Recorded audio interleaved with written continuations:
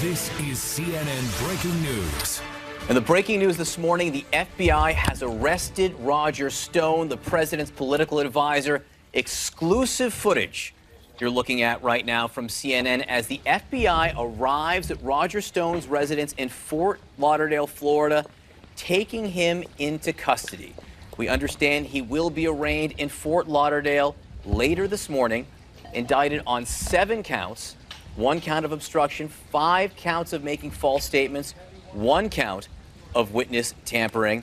Again, they arrived before dawn there, before 6 a.m. or just after 6 a.m. A dozen officers were told.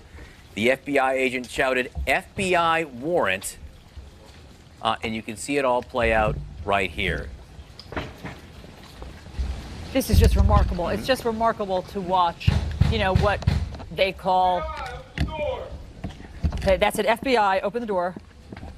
And now they're about to say another warning. FBI warrant.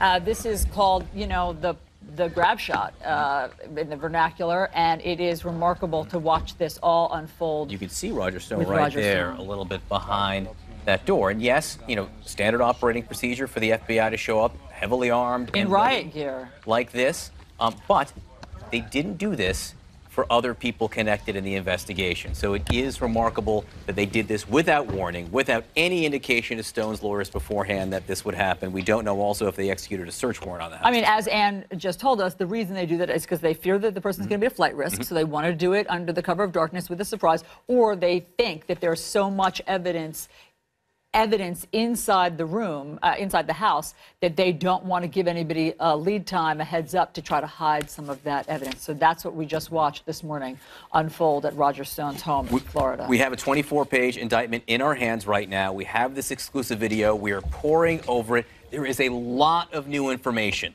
about Roger Stone and the Russia investigation and Trump campaign contacts and roles in all of this.